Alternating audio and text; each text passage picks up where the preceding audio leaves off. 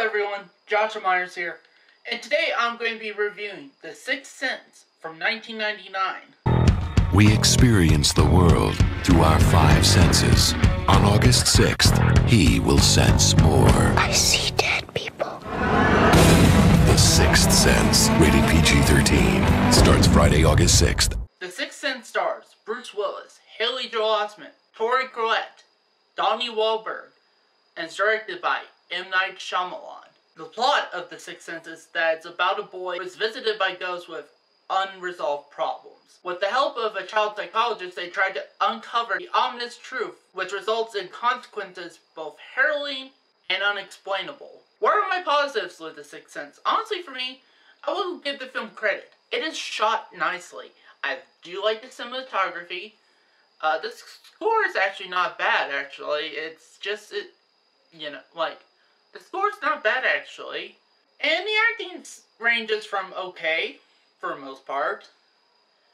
Uh, I will say, uh, I do really like the last act and everything. I really do genuinely like it.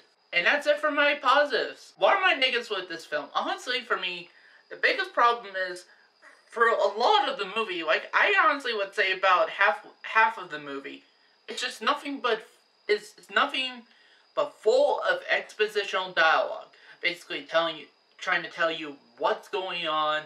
You know, it's almost like as if you know M Night Shyamalan or whoever the fuck is writing this, you know, felt like the audience wouldn't get a clue or anything, and just kind of he tried to spoon feed you all this information without you actually trying to figure it out for yourself.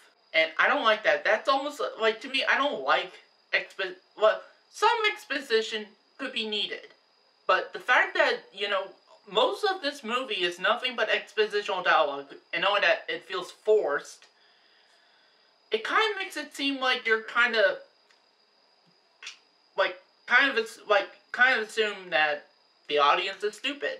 You know, like you're kind of demeaning their intelligence. And knowing that, a lot of people were saying this is one of the scariest films of all time, which, by the way, it was my first time watching this movie for, like, at all. And I've seen scarier. I've even seen scarier films that came out around the 90s, actually. So, yeah, I wouldn't even say it's scary at all. In fact, I remember one point my mother actually said that this film scared her so bad, especially with the ghosts and that. Like, the ghosts were so scary, and I saw this movie, I'm like, really? These were the ghosts you were afraid of? Because they don't look scary to me. And I've seen scarier ghosts, mind you. and, yeah, like... Knowing that this film is also has quite a few jump scares in it, and knowing that, I will admit, the twist of this movie was ruined for me by the internet. And also by pop culture, too. So, I already knew, well, spoiler words, if you don't want to be spoiled, skip to this time code. I already knew the whole thing about Bruce Willis's character uh, being a ghost the whole time. I already knew about that because the internet ruined it for me, pop culture ruined it for me, uh, so I was able to pick, but at least I will admit the cool thing is that I I was able to pick up on all that stuff. You know, watching this movie, like. Although there's some stuff that's confusion for that, like for example, uh, like if he was really a ghost the whole time, then how come he was able like sitting down talking to Haley Joel Osment's mother and them kind of communicating back and forth. Like, and apparently she could clearly see him. If he was a ghost the whole time, how the fuck was that able to happen? Answer that one, M. Night Shyamalan. and now I will admit the twist is good, but I just felt like it was tacked on, or I don't know.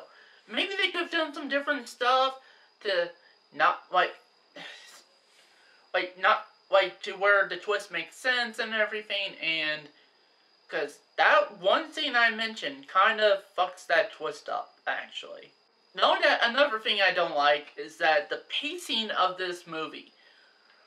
Oh, it's one of the slowest paced movies I've ever seen. Like, seriously. Like, before recording this, you want to know how long it took me to finish watching this freaking movie? Took me to watch this fucking movie? So let's see. I started on one day watching it, and, you know, like about 52 minutes in, I stopped. Then I took a lot of days off from watching it, actually. In fact, I started watching it in October. It was originally, this review was originally meant to be for my 31 Days of October review series for this year. But, I was so bored and so, like, uh, with this movie, I needed a break from it. In fact, I was kind of really hesitant to watch it again. Like, at least to try to finish watching it. But I did. I'm glad I'm done with it. and know that uh, not only was this my first time watching this movie, this was my first time watching a movie by M. Night Shyamalan. And... Oh boy. Also, I didn't really care for Haley Joel Osment in this movie at all. He just got on my nerves, like seriously. I just wanted to want those ghosts to fucking kill him or something, because, you know. Now again, I don't blame him. Because, especially he was a kid, so I'll give him at least a little bit of slack, you know?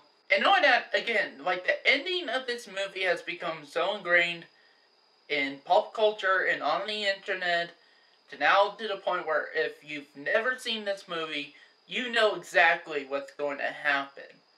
So I'm not even sure if it was all predictable in that of what's going to happen. I don't because I already knew what was going to happen. And that's because of the internet and pop culture and all of that stuff.